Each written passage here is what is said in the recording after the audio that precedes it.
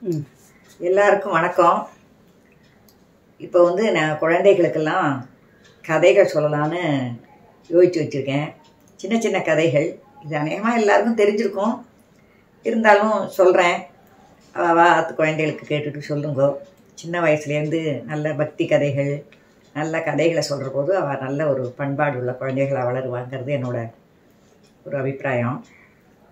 முதல்ல குருவை பிரார்த்தனை பண்ணிக்கிறேன். குரு பிரம்மா குரு விஷ்ணு குரு தேவோ மகேஸ்வர குரு சாட்சாத் பரம்பிரம்ம தஸ்மை ஸ்ரீ குருவே நமகா அபார கருணா சிந்தும் ஞானதம் சாந்தரூபிணும் ஸ்ரீ சந்திரசேகர குரும் பிரணமாமி முதான்மகம். இப்போ வந்து இன்னைக்கு பத்மாசுரன் கதை சொல்லலாம்னு வச்சுருக்கேன். பத்மாசுரன்னு ஒரு அசுரன். அவன் வந்து ரொம்ப கொடுங்கோல் ஆட்சி. ஜனங்களை வந்து அப்படி கஷ்டப்படுத்துகிறான் பரமசிவனை நோக்கி அவன் வந்து நிறைய வருஷம் தபஸ் பண்ணுறான் தபஸ்னா அப்படி அகோர தபஸு அந்த தபஸில் ம சிவனுக்கு பேர் போலேநாத்னு பேர். அவர் சீக்கிரம் மனமகிழ்ந்துடுவார் எல்லாத்துக்கும். மனமகிழ்ந்து போய் அவனுக்கு எதிர்த்தாப்புல தோணி என்னப்பா அவனுக்கு என்ன வரம் வேணும் கேளு தரேன் அப்படிங்கிறார். பத்மாசுரன் சொல்கிறான் யார் தலையில் நான் கையை வச்சாலும் அவள் எரிஞ்சு போயிடும் அப்படிங்கிற ஒரு வரத்தை கேட்குறான் சிவன் தான் போலேநாத்னு சொல்லியிருக்கேன் இல்லையா? அவர் உடனே மனமகிழ்ந்து நீ கேட்ட வரத்தை ஓகேப்பான்னுட்டு போயிடுற. சிவபெருமான்.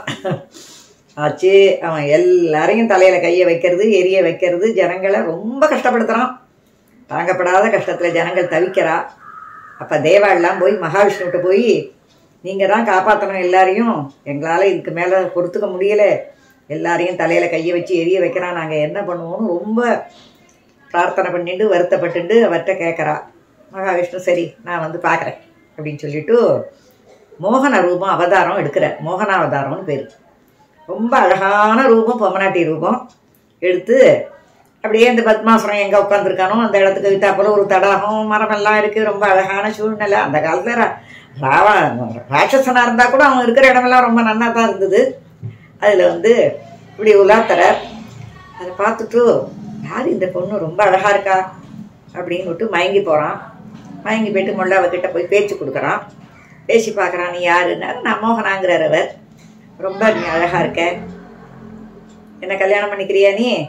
உன்னை கல்யாணம் பண்ணிக்கிற போல எனக்கு ஆசையாக இருக்குதுன்னா போய் கேட்குறான் சரி நீ சொல்கிறதெல்லாம் சரிதான். ஆனால் நானும் சில கண்டிஷன் வைப்பேன். அதை நீ கேட்டேன்னா நான் அவனை கல்யாணம் பண்ணிக்கிறேன். அப்படிங்கிறார் மோகனாவதாரத்தில் விஷ்ணு வந்திருக்கிறவர். சரி நீ என்ன சொன்னாலும் கேட்குறேங்கிறான் அதாவது இந்த மோகங்கிறது மனுஷால கண்ணை மறைச்சிவிடும் நீ என்ன சொல்கிறியோ நான் எல்லாத்துக்கும் சரிங்கிறான். சரி நான் டான்ஸ் ஆட போகிறேன் நீ என்னோட சேர்ந்து டான்ஸ் ஆடணும் அப்படிங்கிற. ஓகே அது என்ன பெரிய விஷயம்? ஆடிட்டா போச்சு அப்படின்னுட்டான். மகாவிஷ்ணு முதல்ல டான்ஸ் ஆரம்பிக்கிறார். மோகன அவதாரத்தில் டான்ஸ் ஆடுறார். இவனும் சேர்ந்து ஆடுறான். ரெண்டு பேரும் ஆடுறா டான்ஸு எல்லா டான்ஸும் டக்க டக்க டக்குன்னு ஆடிட்டு கடைசியில் மோகனா தன் தலையில் கையை வச்சுக்கிறான். இவனும் தன் தலையில் கையை வச்சுக்கிறான். அவ்வளவுதான். பஸ்மமாக போயிட்டான் பஸ்மாசுரன் பத்மாசுரன். எரிஞ்சு போயிட்டான் அவன் தான் பத் பஸ்மம்னா எரிஞ்சு போகிறது விபூதிக்கு தான் பஸ்மம்னு கூட ஒரு பேர். எரிஞ்சு போயிட்டான் தேவா எல்லாரும் ரொம்ப கரகோஷம் பண்ணுறா பூமாலை பொழியறா ரொம்ப ஜனங்கள்லாம் சந்தோஷப்படுறா. இதை வந்து சிவபெருமான் தூரத்துலேருந்து பார்க்குறார் மோகனாவதாரத்தை பார்த்தா அவரே மயங்கி போயிட்டார் மோகன அவதாரத்தை பார்த்துட்டு. மயங்கி போய் அவரோட ரெண்டு பேரோட பார்வையில் குதித்தவர் தான் ஹரிஹர புத்திரன் ஹரிக்கும் ஹரனுக்கு உதித்தவர் ஹரிஹரன் ஐயப்பன் ஐயனார் நிறையா குடும்பத்துக்கு குலதெய்வம் அவர். ஐயப்பன் ச இதில் சபரிகிரீஷன் சபரிமலையில் இருக்கார் அவர். நிறையா கிராமங்கள்லேயும் கிராம தேவதையாக இருக்கார். நிறையா குடும்பங்களுக்கு குலதெய்வம். அதனால் இந்த கதை எல்லாருக்கும் பிடிச்சிருக்கும்னு நினைக்கிறேன். இது ஐயனாருடைய ஐயப்பனோட அவதாரமும் இதில் இருக்குது ஸோ இது ஒரு சின்ன கதை தான் இது குழந்தைகளுக்கெல்லாம் ரொம்ப பிடிக்கும்னு நினைக்கிறேன் இந்த கதை.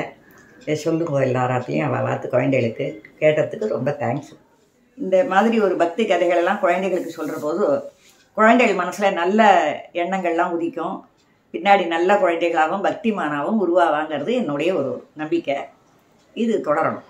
உங்களோட ஆதரவு வேணும். தேங்க்யூ